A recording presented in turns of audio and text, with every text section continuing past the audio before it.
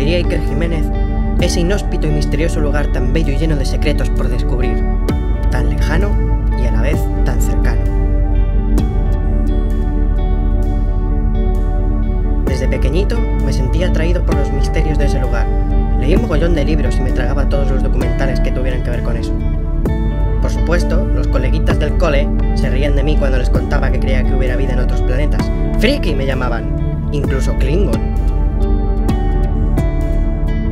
¿Cómo no puede existir alguna civilización más aparte de nosotros? Una forma de vida mucho más avanzada, pacífica, con miles de nuevas teorías que cambiaran nuestro mundo. Una civilización que respondiera a todas las preguntas que como humanos anhelamos dar con su respuesta. ¿Por qué estamos aquí? ¿De dónde venimos?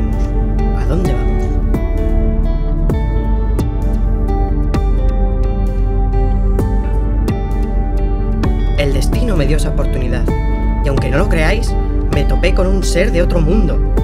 Y esta es la historia. Eso sí, no era lo que me esperaba. Este planeta es una mierda, sois todos gilipollas. Este planeta es una mierda, solo me molan sus tetas.